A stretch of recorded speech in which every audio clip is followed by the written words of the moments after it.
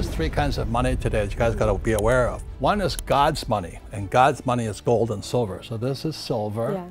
Yeah. And this is gold. The reason I brought it is most people don't know what it looks like. Mm-hmm. And then there's government money, which is fiat currency, which is the dollar, the yen, the peso, the euro, the yuan. Yeah. Fake. And everybody's working hard for it. It's like eating fake food or drinking Mm-hmm. fake water. That's why people are getting sick financially because they're working for fake money. Then there's fake assets, which was another part of the, the fake generation series. But the reason I brought this here is most people haven't seen it. This here is real silver, plata. That's what it looks like. And so in 1972, and this here is gold. This is God's money. This is what God's money looks like. Yeah. The reason I call it God's money is you can't fake it. You know, you can fake it with a fake ETF, like a gold ETF or a mm-hmm. silver, which I don't touch because it smells as bad as the guys that printed that crap. You know what I mean? Jesus. But this is mm. real money. So you look at this here. When I first started buying that, that was a dollar forty. Today, that's sixteen dollars. And this here is oro, gold. And the reason we brought it in is most people haven't seen or touched. This is mm-hmm. real. This is God's money. Yeah. Why did I say it's God's money? Because it was here when the earth was created. Yeah. And it'll be here when we're all dead and gone. When you're saving those fake dollars, this will still be here. Yeah. Or those fake ETFs or those fake stocks. So this here is called the grain box. There's 500 of these little tubes like this. Wow. 500 coins in here. And this is one, which is worth more. This is worth more than all that. Yeah. Now, the reason I say this is because for your generation, this could be the biggest opportunity you'll ever see. I'm not making any commissions on this stuff. Yeah. If you look at what happened with the fake central bank, see, the purpose of the central bank or the Fed, they pump out fake money. The mm-hmm. purpose of central banks like the Fed is to protect the banks, Yeah. not you. They're a criminal operation as far as I'm concerned. You're going to find that most of my talks is about the Fed. So I would recommend you guys buy this stuff. Don't save money. Don't save government money because they're corrupt as hell, as you know. Yeah. Save God's money. This corona crisis, as I call it, you know, it's a smokescreen for something that's been going on for years. You know, when I was your age, I was in Vietnam. I was flying for the Marine Corps. When my rich dad sent me a letter saying, watch out, the world's going to change. And the world changed because President Nixon took the dollar off the gold standard on August 15, 1971. But back then in the 70s, being on an aircraft carrier, I didn't get that letter for like six months. That's how long it took to get to me. You know, now you guys go ding ding and you're there.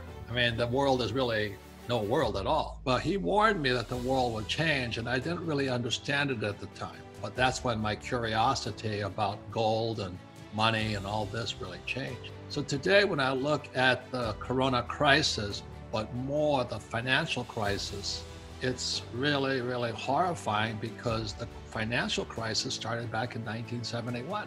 And the reason I'm a rich man today is because, you know, I knew something was wrong. I, I didn't know until 72. I flew behind enemy lines to go buy some gold, and I, I didn't know what gold was. It's illegal for Americans to own gold in 1972. And I thought that was really strange. So my life brought me up to this moment. So I'm very happy to be talking to you because the corona crisis, while serious, the biggest crisis is the financial crisis. And your generation, the millennials, have been screwed. I mean, big time. If you understand how money is created, money is credit and credit, debt, and taxes. That's what money really is. But they don't teach you that in school. So today, the reason the world economy is crashing goes all the way back to 71. But what happened in 71, they could just make fake money and they can keep printing fake money. This is the US dollar. The US can keep printing fake money for a number of years yet. The only way they could keep the economy expanding, they had to find people stupid enough to get into debt. When I say because the dollar is dying, I'm just not BSing you. I am a student of it. It goes all the way back to the original, not the original, but the book I read, read here is called The Grunch of Giants. Grunch, gross, universal cash. So that's how I know dollar is dying, the stock market is way high, and gold is high. And the reason is, is because they're ripping us off. They're printing so much money to keep the stock market high. So mom and pop stupid person who has a 401k or a pension, they, oh, I don't have to worry. I got a pension. The stock market is up And then meanwhile, gold is going up. The reason gold is going up is a common theme because they're printing trillions of dollars. You cannot have both going at the same time. I hope I'm wrong. The US dollar is dead. It's got about five more years. Don't get me wrong. It's still a strong currency, but gold will get stronger. So will silver. So will get. So will Bitcoin. Because of this here is the school teachers, our governments, the Treasury, Wall Street, and the banking system, the Federal Reserve Bank, are ripping us off. In my opinion, the biggest news of all last few months was that Warren Buffett, Oracle of Omaha, dumped bank stocks and he dumped airline stocks and he got into Barrick Gold. Let's talk about Berkshire Hathaway's bet on gold in a move antithetical to Warren Buffett's criticism of the magical metal. There's no way this was Warren Buffett himself buying, right? There's no way. And the conventional wisdom and, and folks I talk to that are more familiar with, with Warren Buffett and Berkshire Hathaway than I am all say that this is not likely something that Buffett put into play himself. In other words, he shifted into gold mining, and he and his buddy Peter, I mean, uh, Munger, have badmouthed gold forever. Uh, they own some silver, but they badmouth gold forever. And so that is the biggest news of all because it says something is really fundamentally changed in America. I mean, foundational. If he's dumping airline stocks, he's dumping bank stocks. The question is, what does that mean?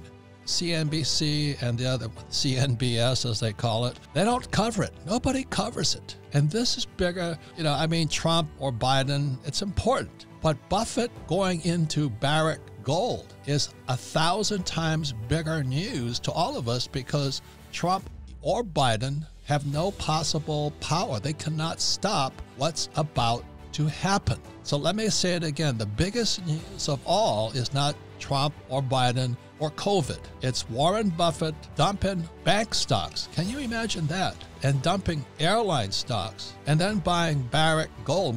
We don't know what else he's bought. And the question is, what does that really mean? Right in front of our eyes right now, we can see capitalism, socialism, and communism. That's what I'm concerned about. The average person without financial education from our schools so we're shifting to communism and central control of the economy. There'll be an IMF bailout, International Monetary Fund.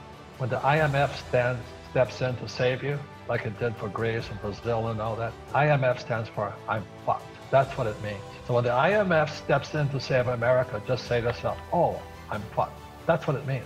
The monetary system has been blown apart so bad that a foreign government, I mean, the comes in and they, they're going to start giving us more fake money called SDRs, special drawing rights. I don't know what they are. So that's that's the future. So that's why I said, won't free money destroy the USA? Answer is yes, destroy the world. So what should I do? I always say, gold, silver, God's money, Bitcoin, people's money. You want to get outside this corrupt system. Bitcoin is open source. That means the central banks can't mess with it. You know, gold and silver are God's money. They can't, well, they can try, but they can't make any more of it. So what happened is uh, these fake financial planners, God, they're terrible people. They tell you to invest in the long term in the stock market. And look at this chart here. This is the Dow. It's at an all-time high. Why would you invest in the stock market? You know, the Fed, which is a criminal operation, because they, they only protect the banks. The stock market is an all-time high. Would you want to get in now? No. and that's the thing. That's I think that's why you were saying this, it's so important to buy right now because it's low too. Yeah. Look at housing. Guys always complain, oh, I can't afford a house. Well, wait till it crashes, then you buy a house, right? You know, so in 2008, after it crashes, that's when I bought real estate. Mm -hmm. So right now, look at look at the stock market all-time high. Real estate's an all-time high. Your phony education is an all-time high. Everything. Look at medical high. costs at all-time high. These phony, fake financial planners are telling you to invest for the long term when the market's at all-time high. And what blew it into the bubble was the Fed. Mm -hmm. The Fed kept printing money, it just kept blowing it in this bubble. So meanwhile, little silver, it's $15 on this chart here. It used to be as high as 50. $15 is a joke. This is not an investment. Let me, I'll show you a little about this. Mm -hmm. I predict, and I, my predictions are often wrong, that if you buy silver today at 15, in 10 years it'll be worth 100 because they keep burning it up, keep yeah. demanding it. So would you rather save the dollar, which is going down, or save silver, which is going up? Yeah.